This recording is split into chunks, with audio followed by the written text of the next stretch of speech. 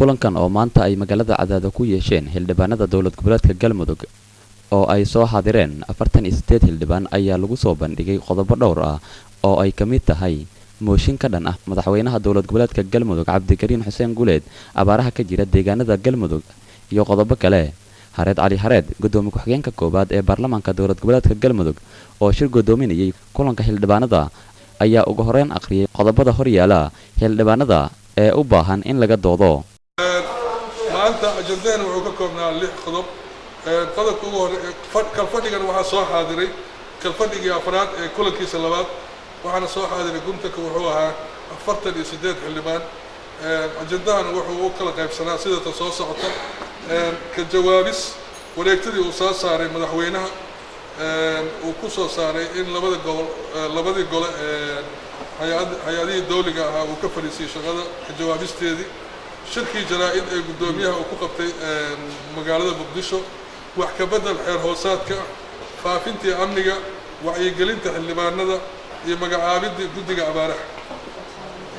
Intaas waxaa ka sii zaa'id ahaa sidaa la socotaan in maaragtay ay intaan ajandaha la ansixin la ii keenay mooshinkii maaragtay madaxweynaha mudane cabdikariin xuseen guuleed oo ah mooshin ay ku saxiixan yihiin konton xildhibaan kaasoo ah mooshin ay ka codsanayaan inay kalsoonida kala noqdaan.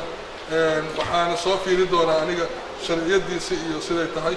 Intaasi kadib ayaa xildhibaanada waxa ay ka doodeen qodobada horyaala iyagoona sheegay in xildhibaanada ay u taagan yihiin gudashada waajibaadka laga sugayo. Oo ah wareegtada la yidhi madaxweynaha soo saaray iyo tan la yidhi guddoomiyaha baarlamaanka ayaa fasax shir jaraa'id qabto yidhi fasax baan bixiyey. Labaduba waa kayrul sharci.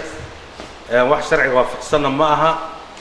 Guddoomiyaha baarlamaanku waa sbeaker wixii baarlamaankaasi ay ku hadlaan ayuu go'aamiyaa. Go'aanada gaaraan buu go'aamiyaa. Shirarka ayuu hagaa. Muxuu aha ii sheegeen guddoomiyaha wixii loo dhiibto musaa ku fuliya waxa weeye kelmadda ah fasaxii baan ku daray. Isagoon fadhigii baarlamaanka joogin isagoo absenti ah oo shaqadiisii iyo kalfadhigii ka maqan waa kayrul sharci horta wax soconaya ma aha. Baarlamaankuna arrinkaas waa diiday waa waxa weye waa ka soo horjeestay. Midda kale waxaan rabaa inaan uga faa'iidaysto fursaddaydaan soo istaagay guddoomiyihii cali gacal casir oo shir jaraa-id ku qabtay magaalada xamar. Galmudug magaalo madaxdeeda kumeel gaarkaah waa cadaado.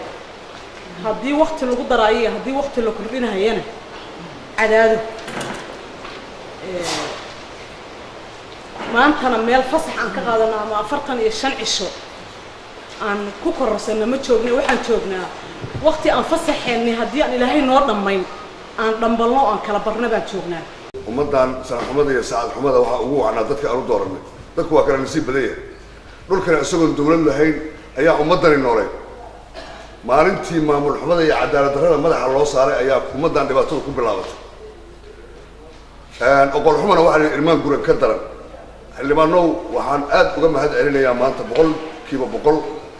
Isbeddelka aad doonaysaan oo idinka daacadda ah iyo sida aad dhammaantiin isugu soo diyaarideen ayadoo xilligan lagu jiro adag in aan wax ka bedelno dadka yaga iyo dalka yaga.